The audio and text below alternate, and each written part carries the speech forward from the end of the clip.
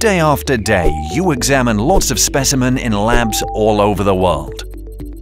For each examination, you need to identify a representative region and be able to navigate within the sample at different microscopes – light, electron, ion, X-ray and many more. Next, you need to combine and adjust all the data you've acquired to get a thorough understanding of the specimen. And then comes the task of overlaying images, also quite difficult when you're using several devices. All of this takes lots of effort. Ah. Whether you're analyzing a living cell to detect cancer behavior or performing defects research on a metal gear wheel, it is correlative microscopy that delivers unique insights into your sample and lets you acquire relevant data in less time. So what exactly is correlative microscopy? Correlative microscopy is much more than simply a combination of microscopes.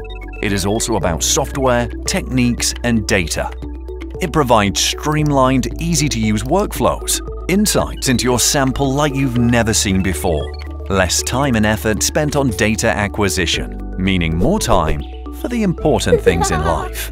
All thanks to the correlative solution from Zeiss.